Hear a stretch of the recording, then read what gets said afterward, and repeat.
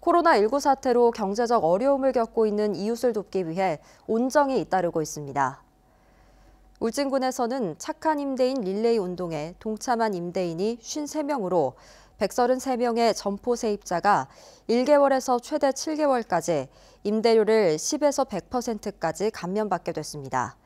영덕군 이장연합회도 국내 선진지 견학 등 행사성 경비 3천만 원을 반납하기로 결정해 영덕군이 코로나19 대응 사업비로 사용하기로 했습니다.